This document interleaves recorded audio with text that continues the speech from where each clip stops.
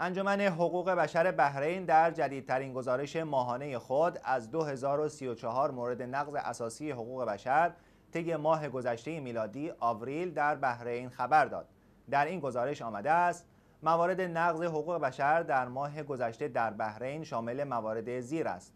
بازداشت های خودسرانه، هجوم به منازل، محاکمه های ناعادلانه، سرکوب تظاهرات، ممانعت از آزادی جابجایی و رفت آمد، نفرت پراکنی در رسانه ها، مخفی کردن بازداشتی ها، شکنجه و بدرفتاری با بازداشت شدگان، تخریب اموال مردم و نقض آزادی های دینی و مذهبی. این مرکز در گزارش خود آورده است تعداد این تجاوزات در ماه آوریل در مقایسه با ماه قبل از آن 871 مورد افزایش داشته که این موارد را در بر می‌گیرد. 58 بازداشت خودسرانه از جمله بازداشت 9 کودک 57 مورد مخفی کردن بازداشت شدگان صدور احکام 847 سال حبس 48404 دلار جریمه نقدی و ودیعه برای توقف اجرای حکم.